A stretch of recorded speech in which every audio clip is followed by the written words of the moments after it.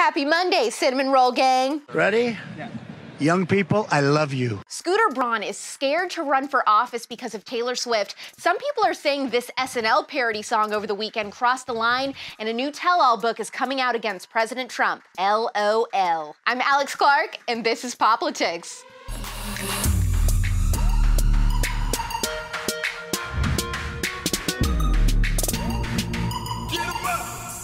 Little Richard died over the weekend at the age of 87, and I just want to know if any other cute conservatives first heard Little Richard in this iconic movie.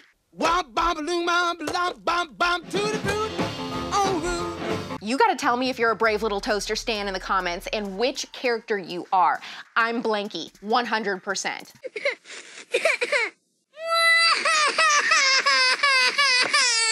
All right, let's start with the steamiest conservatea first. I didn't know this, but I guess music manager Scooter Braun has been wanting to run for office for a while. He's told GQ that he's been wanting to do this, but that recently he was attacked by Taylor Swift online, and so now he doesn't know if it's a good idea. He told them, I don't know if I'm comfortable being in public office knowing the amount of ridicule and exposure you get, and I don't know if I want to put my children through that. So right now, I'm trying to do the best that I can from the private sector. Here's the deal, Scooter, if that is your your real name. If you're scared of Swifties, you probably wouldn't last long in politics anyways. Her said a bad thing to me.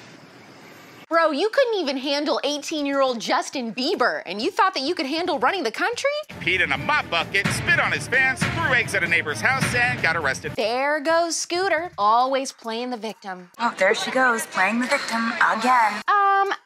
Believe it was you, sir, who tried to manipulate Taylor into not re recording her discography, then tried to deny her the rights to perform her music live or use it in a documentary about her life. And it was only in the last few weeks that you tried to re release her old music as a cash grab in the middle of a pandemic. A rat is a rat is a rat. I got this rat, this gnawing, key eating rat. And it brings up questions. SNL did a parody song for Mother's Day about letting your kids get drunky in the queue, but thought this was funny. Maybe I just have a dark sense of humor. Abigail knows. She carries around a little notepad and keeps track of all the off-color things I say. Mm. Mm-hmm. Rosie O'Donnell and ex-Trump lawyer Michael Cohen have become friends while he's been in jail, and they're writing a quote tell all about his years working for Trump. I am sickened but curious. Rosie says that when she went to visit him, they talked for six hours and that the book will be pretty spicy and hopefully out before the election. Sure. Yeah. Okay. Bet that the only thing Rosie O'Donnell has made that was spicy was some toot toot after a Taco Bell bench. Unfortunately for Tweedledee and Tweedledum, nobody is gonna care about any of this while Obamagate is getting exposed. Obamagate! I'm just an ordinary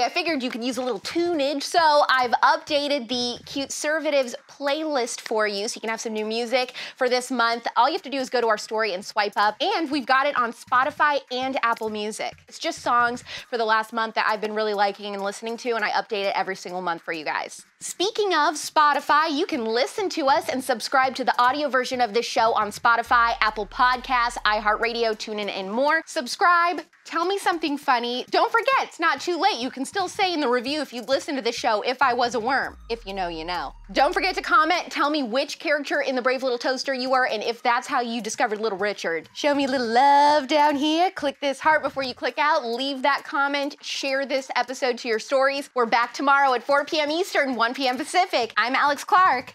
And I'm Noah Boyle, and this is Poplitics. Perfect. Wow. First time. Right here. Good job.